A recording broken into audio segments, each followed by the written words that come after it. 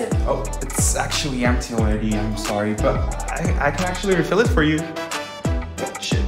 Ooh, ooh. How did you do There that? go. What? Magic. There How- you go. Oh my